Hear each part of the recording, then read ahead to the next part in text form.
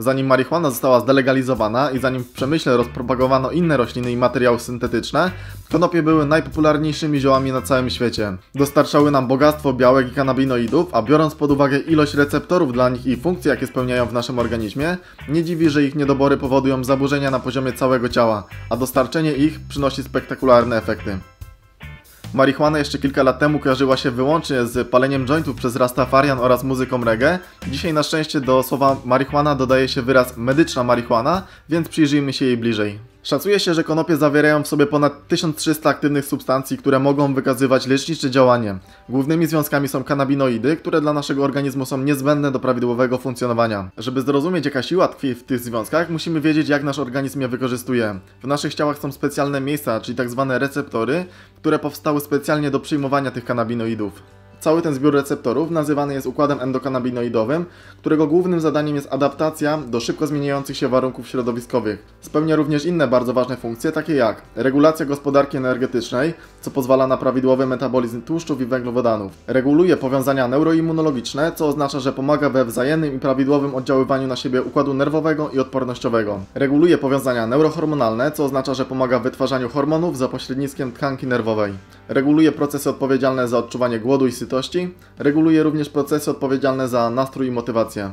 W skład układu endokannabinoidowego wchodzą receptory główne, czyli takie odbiorniki rozmieszczone na naszym ciele.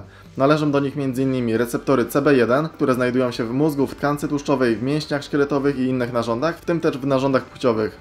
Oraz receptory CB2, które znajdują się głównie w komórkach odpowiedzialnych za układ odpornościowy. Te receptory są stworzone z białek transbłonowych, które wysyłają sygnały do wnętrza komórki, dzięki czemu kanabinoidy mogą wywierać leczniczy wpływ na nasz organizm. Agonisty, czyli substancje, które łączą się z receptorem i wywierają wpływ na nasz organizm. Agonisty mogą być egzogenne, czyli kanabinoidy dostarczane z zewnątrz, oraz endogenne, czyli endokannabinoidy produkowane przez nasz organizm. Enzymy, które regulują procesy syntezy i rozkładu endogennych lignadów z tego układu, a to oznacza, że jeśli w naszym organizmie pojawi się za dużo kanabinoidów, to zostaną one bezpiecznie rozłożone. Układ endokannabinoidowy reguluje poziom neuroprzekaźników, np. oreksyny, GABY, dopaminy, acetylocholiny, histaminy, noradrenaliny, serotoniny oraz prostaglandyny. Skład kanabinoidów wchodzą takie substancje jak CBD, czyli kanabidol, który nie wykazuje działania psychoaktywnego, ale działa odwrotnie, czyli przeciwpsychotycznie.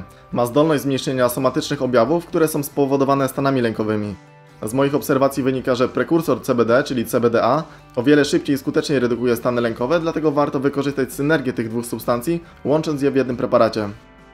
CBDA, czyli właśnie ten prekursor CBD, nie posiada właściwości psychoaktywnych, działa przeciwlękowo, przeciwzapalnie, przeciwbólowo i antybakteryjnie. THC to właśnie przez tą substancję konopie indyjskie są nielegalne, ponieważ działa psychoaktywnie, odczuwamy po nim odlot i robimy się zrelaksowani, tacy senni, rozweseleni i odczuwamy gastrofazę. THCA jest prekursorem THC i nie jest psychoaktywne, dopóki nie zostanie poddane wysokiej temperaturze.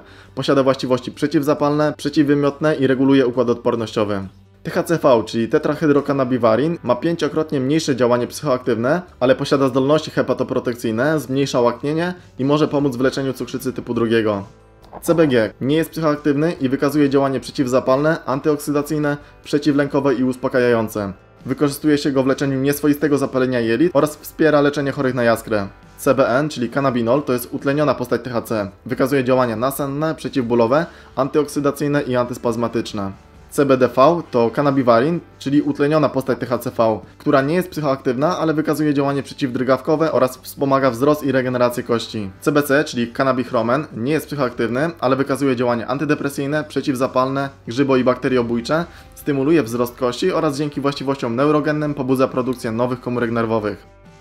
Konopie swoje terapeutyczne właściwości zawdzięczają nie tylko pojedynczym kanabinoidom. Efekt synergii uzyskuje się dopiero wtedy, kiedy te wszystkie substancje z konopi będą połączone, dlatego warto wykorzystywać te preparaty, które są robione jakby z całych konopi, a nie tylko wyizolowane są poszczególne kanabinoidy. Zewnętrznie można stosować na atopowe zapalenie skóry, na egzemy, na łuszczycę, na trądzik i też na inne problemy skórne. W waszych głowach już na pewno pojawiło się pytanie w takim razie, czy można palić marihuanę i wielu z was niestety zasmucę tą odpowiedzią, dlatego że palenie marihuany, tak jak palenie każdej innej substancji, nigdy nie powinno być formą transportu aktywnych składników do organizmu. W ten sposób dostarczamy sobie substancji smolistych i toksycznych, które będą stać w opozycji do efektu terapeutycznego, który chcemy uzyskać. Pomimo tego, że dym z marihuany jest o wiele mniej szkodliwy niż dym palonego tytoniu, to w dalszym ciągu jest szkodliwy. Dlatego tutaj rozwiązaniem może być przykład proces waporyzacji. Warto również wspomnieć, że substancje aktywne, na których nam zależy, pod wpływem tak wysokiej temperatury i jednocześnie spalania, będą ulegać przemianom, które mogą je pozbawić w całości leczniczych właściwości. Palenie marihuany powoduje uzależnienie i długotrwale stosowana może zaburzyć sen, pamięć, motywację i wrażliwość hormonu nagrody, czyli dopaminy, co może powodować stany depresyjne. Ilość przyjętych kanabinoidów powinna być dobrana bardzo indywidualnie dla każdego pacjenta. Warto na początku zacząć od mniejszych ilości i zwiększać je do uzyskania zadowalającego efektu. Na początku na podstawie subiektywnej opinii pacjenta. Do prawidłowego przebiegu terapii musimy obserwować stan pacjenta oraz wyniki badań i dopiero na ich podstawie rotować tą dawkę, zmniejszając lub zwiększając w zależności od zapotrzebowania. Warto również pamiętać, że posiadanie marihuany w Polsce jest nielegalne, za to możemy korzystać z tych odmian konopi, które nie posiadają aktywnych, psychoaktywnych właściwości, np. konopie siewne. Jeśli ten odcinek Ci się podobał, to zostaw łapkę w górę. Jeśli chcesz więcej informacji oraz przepis, jak przygotować e, olej konopny, to znajdziesz je na platformie, która jest dołączona do książki. Widzimy się w następnym odcinku i cześć.